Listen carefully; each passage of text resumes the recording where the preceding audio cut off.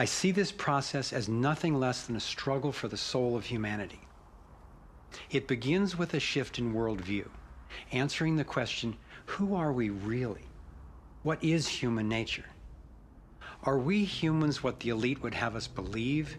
Stupid, greedy creatures who, if left to our own devices, would devolve into violence and chaos, and so for our own good must be ruled over by a self appointed elite?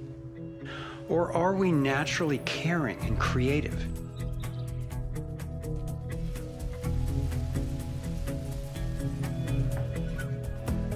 I believe when people are healthy and have what we need to survive, we can create a world based on integrity, freedom, and compassion. A world where everyone can thrive. Which of these two views will shape our future? That's our choice now. The agenda of the ruling elite is the product of a destructive worldview based on their beliefs that there's not enough to go around that some people are more deserving than others, and that their own safety depends on maintaining absolute control over the rest of us. In short, their worldview is based on scarcity and fear. But as powerful as they are, the architects of the New World Order cannot create their dreadful vision without our collusion. To stop them, to render their agenda obsolete, we have to wake up. We have to take action this is like the, the last effort of a particular phase of civilization. It's its last gasp, really, and I often use the metaphor of the caterpillar becoming the butterfly because the caterpillar crunches its way through the ecosystem. It's very destructive. It eats 300 times its weight in a day until it's so bloated that it hangs itself up and goes to sleep, and its skin turns into a hardened chrysalis. And then in its body, you get these imaginal cells. Biologists actually call them that, forming within the caterpillar's body. The caterpillar's body then actually becomes a nutritive soup for those cells. But what's important about that metaphor is that the old and the new coexist for a while. And it's the job of the caterpillar to preserve its life. It's a desperate government that we have now trying to control oil in the Middle East and wanting now to promote nuclear energy and all these things that they know better, but they have to play out the role of protecting themselves. It's their job. And if you love butterflies, you don't go around stepping on caterpillars. So we can't hate them, it doesn't do any good. But if you want alternative energy, you don't ask an oil economy uh, administration to produce it for you. We have to produce it. We imaginal cells have to show that it's cheaper, more efficient, and, and more effective. Our job is to build a new world. If we had the vision and a worldview that says our crisis is a birth and everybody's needed and everybody will have more of what they truly want, you could turn this desperate world into a renaissance of human creativity and love. It may seem that the controlling elite has all the cards, but we have many advantages of our own. First, let's talk numbers. Very few people are consciously perpetrating the domination agenda. Most of those helping to implement the plan don't understand the full picture of what they're a part of. By my calculations, we outnumber the actual architects of the plan by more than a million to one in the US alone. Entrepreneur and environmentalist Paul Hawken estimates that there are now well over 1 million organizations in the world that work towards social and environmental justice, comprising the largest social movement in the history of humankind. This movement, when connected electronically, could become a network of networks that will be the most powerful activist force for change ever. If you look at the people who are involved with restoring this earth and stopping the damage and resisting the depredation and nurturing change and reimagining what it means to be a human being. And you're not optimistic then you you might want to get your heart checked you know because there is an extraordinary beautiful gorgeous fierce group of people in this world who are taking this on The second important advantage for us is that all the power centers that the elite control require our participation. If enough of us withdraw our support, their plan can't work. This is true of the central banks, the military, the corporate media, the government, and more. And following the models of Mahatma Gandhi and Martin Luther King Jr., we have the power of nonviolent non participation. It takes tremendous energy, resources, and deception to try to dominate the lives of others. In moving toward freedom, on the other hand, we have on our side the evolutionary life force and what Gandhi called satyagraha, the simple power of truth. In India, we have thousands of villages which are now freedom zones. So we will not accept patenting. We will not cooperate with it, just like Gandhi did not cooperate with salt laws. We will not allow chemicals and genetically engineered crops to enter our ecosystems because they threaten this biodiversity. And this freedom movement, which is a freedom movement for all species, not just for individual humans, is something that's growing so fast and is reflected in the movement for GMO free zones in Europe. I turn my back and there's another thousand GMO free zones. 90% of Italy, 90% of Austria. The freedom zones uh, around the seed, around um, food, are, are creating massive shifts. In Bolivia, a grassroots movement took to the streets, relentlessly banging pots and pans, and eventually stopped the foreign corporate takeover of their water resources. Though very little is shown by the corporate media, there are countless success stories going on every day all over the world.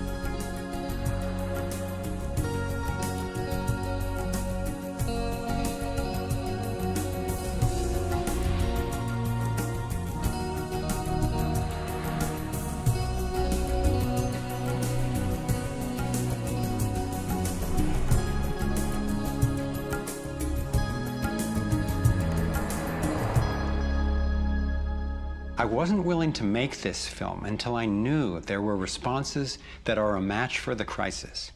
And now the power of the internet enables us to share the breadth and the depth of this research. We've spent years creating a vast website, thrivemovement.com, that brings it all together and makes the information and what we can do about it accessible to everyone. Here you have your very own Navigator module to go deeper into the main subjects covered in the film code, problem, and solutions. You can study strategies and tactics and connect with others to take high leverage actions. Every fact stated in this film has been independently verified, and the reference is on our website. This sector navigator facilitates whole systems thinking that recognizes that actions in one area impact all the others. The center of the sector navigator is worldview because it determines how we experience everything that happens within and around us. In every sector, you'll find critical issues, resources, group strategies, and individual actions to peacefully and productively affect real change. Our resource tree will link you to the people, organizations, and media that we most recommend to help you get more fully educated and engaged. I was encouraged to find that there are a minimum number of actions which, working together, can tip the scales. It's not endless. Once we see the big picture, we'll look at what each of us can do to help accomplish it. Let's take a look at the strategic antidotes to their economic domination. We need to stop any more bailouts of banks or corporations, dismantle the Federal Reserve, withdraw taxpayer support from central banking agencies such as the IMF and World Bank, allow development of alternative currencies and independent banks, and refuse international taxes. My main emphasis is on solutions in the U.S. because that's what I know best. But just as the predicament is global, so are the principles on which the solution strategies are based. Here are some tactical actions that we can take as individuals that don't take much time or money to make a real difference right now. Get informed. speak up and connect with others. Bank locally. When we move our money out of the big centralized banks and into locally owned banks and credit unions, we defund the problem and fund the solution all in one move. And invest responsibly. Every dollar you spend sends a message. Join the movement to audit and end the Federal Reserve. It's robbing us. Join a coalition to keep the internet fair and open. Don't let anybody take control over it. Support independent media. Get your information from diverse sources and think about who's funding the news you get. Support organic, non GMO farming. Join movements to bring about honest elections, including traceable paper ballots and campaign finance reform. Congress can only be accountable to us when corporations stop funding them. Advocate for renewable and new energy technology. Bring the conversation about free energy out into the open. It will transform the power dynamic on this planet faster than anything in recorded history. Sign up for critical mass actions. It's a strategy to leverage our power by waiting until a huge number of us agree to participate before taking an action. Imagine a million of us acting in unison. Then again, imagine even more.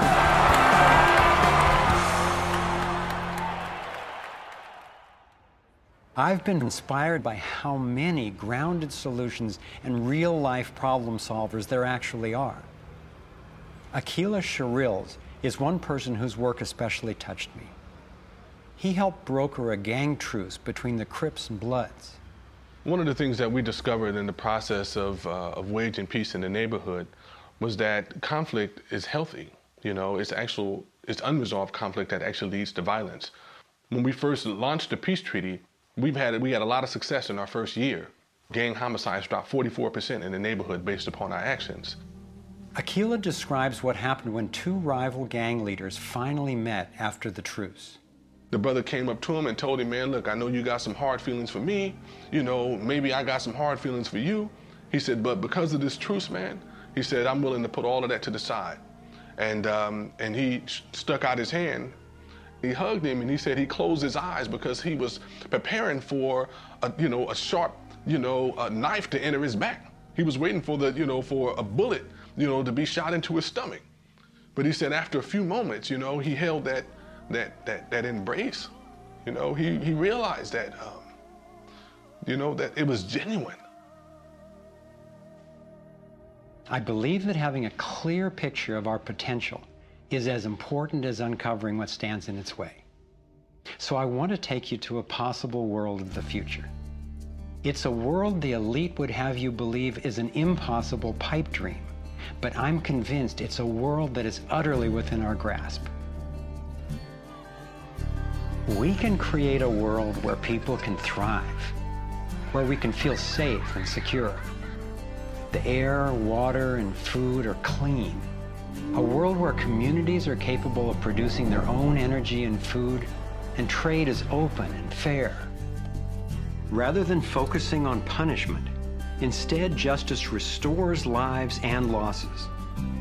Insurance pays doctors to keep people healthy. Education is voluntary, serving the needs of individuals instead of corporations. We get honest feedback from independent media. There are no subsidies and no bailouts. Imagine that with an honest money system, little or no taxes, and low electric and fuel bills, you would have the money to pay off your home and car and be free to save and invest. You would enjoy more wealth, freedom, and security, all while working the same or probably less. Let's say I started a mutual fund for my neighborhood, and all the neighbors had stock, okay? And, and so they healed the environment, and their stock went up in value. So instead of getting drained financially, they're making money. They're making money from things that make their kids safer and, and prevent the planet from dying. So you kind of have your cake and eat it too. Instead of working all week to make money and then coming home and trying to save the planet on the weekends, you can spend Monday through Friday making money saving the planet and then, you know, go to the beach. This vision of a thriving world is based on what could be called the liberty perspective. There is a simple principle that underlies this approach non violation. Nobody gets to violate you or your property, and you don't get to violate anyone else, except in genuine self defense. This is the one rule I've found that every single person agrees with, at least for themselves. I believe that non-violation is the true north of humanity's moral compass and our core navigating insight. This insight can guide us and protect each and every individual as we set up voluntary, self-sustaining systems. It is a way of living that I can stand for wholeheartedly and without reservation. I've been profoundly influenced by the work of Austrian economist Ludwig von Mises, who developed a whole philosophy and economic system based on the core ethic of non aggression. Motivated by having witnessed the ravages of communism and fascism in Europe, he committed his life to finding a just way. He recognized that those systems, as well as socialism and even democracy, wrongly assume the rights of the collective or the group to be more important than those of the individual. I had always gone along with the view that more people will thrive if we consider the group's needs above the individual's. But when I took a closer look, I found it doesn't really work that way. In the name of what's best for the group, governments have been responsible for most of the war, death, and destruction on the planet. More than 200 million individuals were killed in the 20th century alone. So, how would applying the principle of non-violation change this dynamic? It would take us from incremental change of a fundamentally flawed system to a complete transformation where not just some, or even the majority, but everyone could truly have the opportunity to thrive. In order to implement the principle of non-violation, it makes sense to me to honestly re examine our past because it doesn't work to try to build a healthy living system on top of an unhealthy one. We have to go back to the most fundamental acts of injustice upon which the country was founded. In the seizure of the lands of the people and the slaughter of their women and children, uh, and the, and the, uh, the rendering destitute most of the remnants of these people, is such a, an, a grievous wrong, uh, that we believe that we have to deal with that, to come to grips with that in a fundamental way. Understanding that they're not wrongs that were done and completed uh, 150 years ago. They're wrongs that are continued every single day. So you have, you know, through the history of North America and the United States, over 500 treaties signed with indigenous nations where every single one of them now has been violated. You have, in fact, a tremendous amount of wealth having been generated from indigenous peoples' lands and resources, and billions of dollars every year still being generated by corporations and European nations based on the continued exploitation of indigenous peoples' lands and resources. If we didn't have large corporations, if we didn't have Western governments defining how you and I were to relate to each other, living here in North America now together, how would we relate to one another? How would we make it different? It's going to take time and courageous effort to shift the consciousness and accomplish the tasks that will move us toward the world I'm talking about. And yet I know of no greater gift that we could give to future generations. We can't do everything at once. I envision three overlapping stages of the solutions process. In stage one, we bring as much integrity as possible to our current systems. If we cut the U.S. military budget in half, it would still roughly equal the defense spending of the entire rest of the world. Between that and getting rid of the Federal Reserve, over a trillion dollars a year would be freed, enough to feed everyone on our planet, deal with social issues, and heal our environment. Many people believe that widespread starvation and poverty are inevitable. But compared to war, eliminating poverty and restoring the environment are cheap. According to Lester Brown's Earth Policy Institute, it would take under $200 billion a year to restore the Earth's environment and meet global social goals. But this stage isn't the end goal of the Liberty perspective. While stage one has a lot of the compassion typically associated with a liberal Democrat agenda, stage two reflects much of the wisdom of the traditional conservative worldview. In stage two, we shrink government's role to protecting individual liberty and stewarding things we share in common, like ecosystems and the airwaves we use to communicate. As the system gains integrity and we move to sound currency, people will have enough money to have more control over everything that affects them. Stage three grows out of the increasing freedom that people gain in stages one and two as they have more money and more time. There is no involuntary tax and therefore no involuntary governance. There's no monopoly on force. There are rules, but no rulers. Rigorously protecting individual rights turns out to be key for honoring our interdependence. We can be distinct and unified at the same time. As utopian as this can sound at first, I've been thrilled to see how much practical thinking has been done to deal with tough issues like healthcare, crime, and education. These three stages validate the best of both the liberal and conservative perspectives that have divided us for so long, and then reconcile them at a new level around non-violation, a core ethic we all share. Stage three honors human incentive and finally includes the rights of not just many, not just most, but everyone. The Torus provides a template for a society based on integrity and wholeness. It conserves what's working. It has built-in feedback so it can self-correct and innovate to maintain balance. We can apply these and other features of the torus dynamic to our human social systems. I truly believe that aligning consciously with the fundamental life energy pattern at every level, physical, emotional, mental, interpersonal, and environmental, is ultimately the art, the science, and the celebration of love. And that's what we're here to learn. The fundamental insight of our interconnectedness changed the way I approach everything. In my own life, I found a practical expression of this philosophy in the modern nonviolent martial art of Aikido. It offers powerful guidance on how to respond effectively and non aggressively to the global domination agenda. Morihei Ueshiba, its founder, taught that to practice Aikido, one must mimic the movements of atoms and galaxies.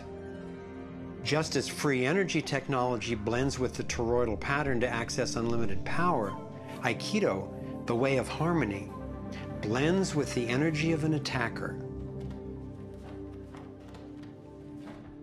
redirecting it to peaceful resolution.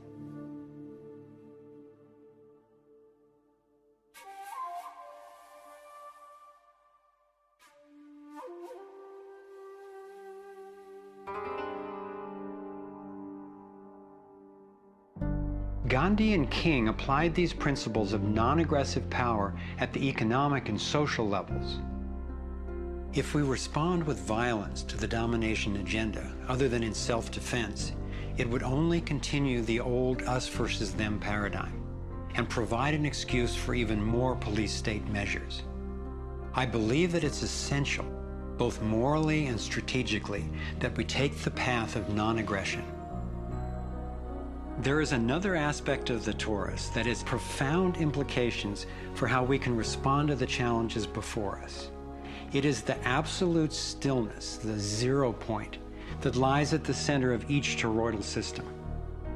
I believe that you and I, as well as every other being, are torus energy fields, centered by stillness and each connected to one another and to the boundless consciousness of a living universe.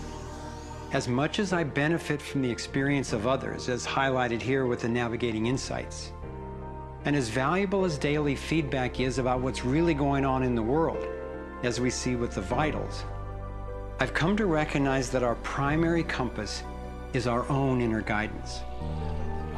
As we learn to quiet the noise and amplify the inner signal, we can better hear the voice that naturally knows and offers wise direction.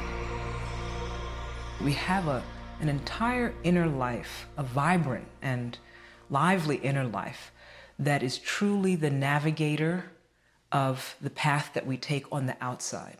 If your inner life is the driver of how you show up in the world, it makes sense that if you want to have anything to do with where you're going, that you have to be in relationship to that inner life. You have to be in relationship to the driver.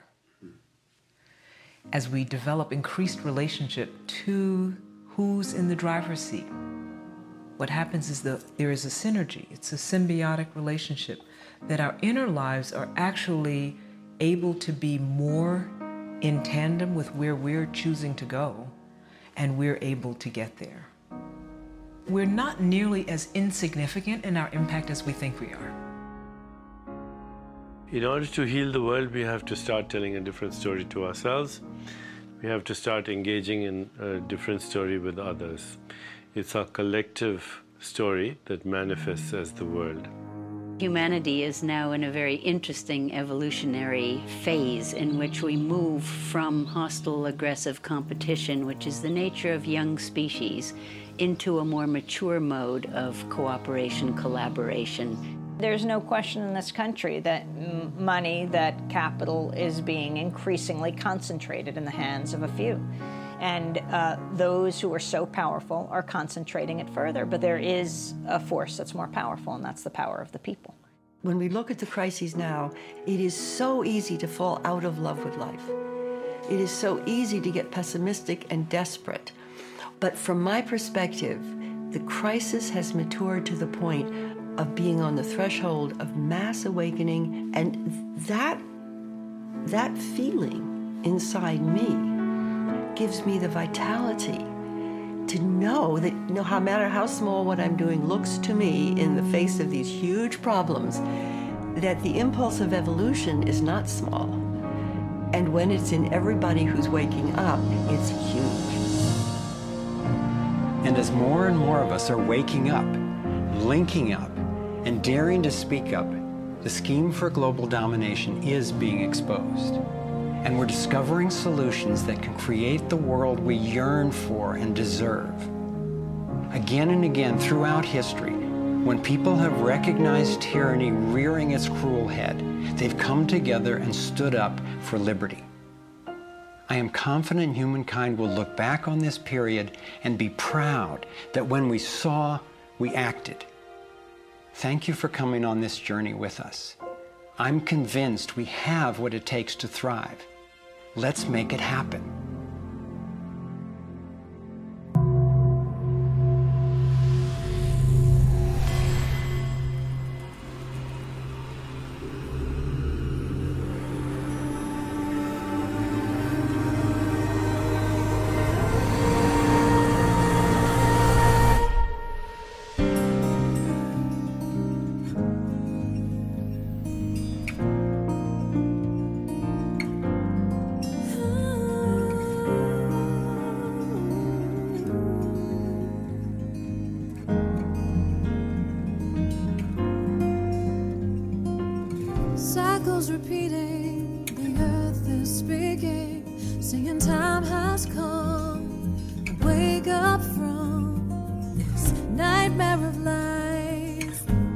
So many shattered lives reaching out, crying,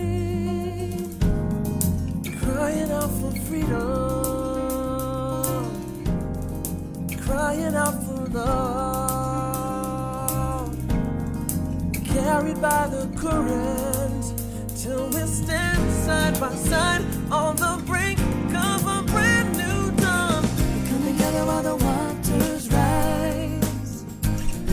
deep inside, deep inside. We come together stand up for our lives. What on earth does it take to thrive? While we've been sleeping, our hearts were beating so much closer than you ever knew. Beneath the noise. whispering clear and true. The veils are finally lifting, our ways becoming clear. There's a dream without.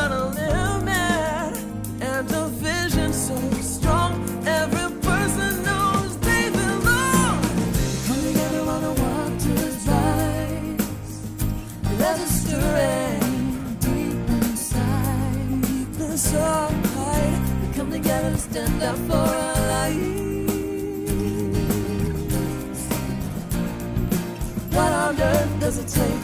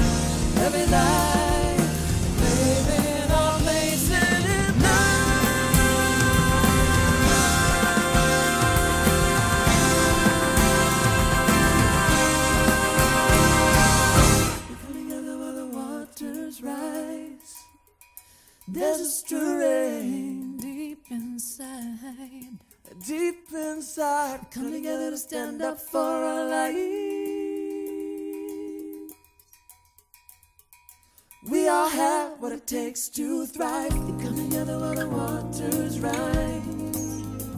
There's a stirring deep inside. Deep inside. They come together to stand up for our life. We all have what it takes to thrive. They come together while the waters rise. There's